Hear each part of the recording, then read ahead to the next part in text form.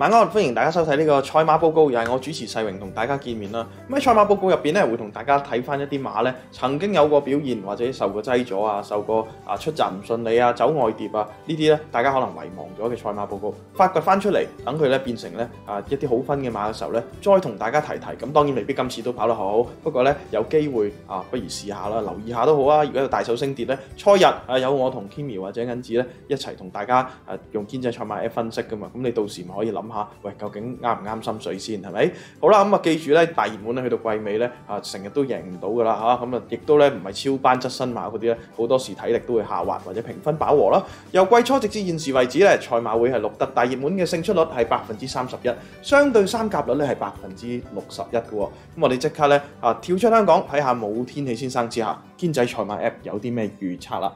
嗱，可以見到咧呢匹博愛有威第九場嘅三班千六，成日都同大家講咧嚇有機會爆冷嘅喎。咁啊熱門係邊只？我暫時未知，好可能咧就係呢個喜蓮衛星或者係博愛有威啊。咁到時咧莫雷拉田泰安睇下邊只老友啲啦嚇。咁啊見到博愛有威咧。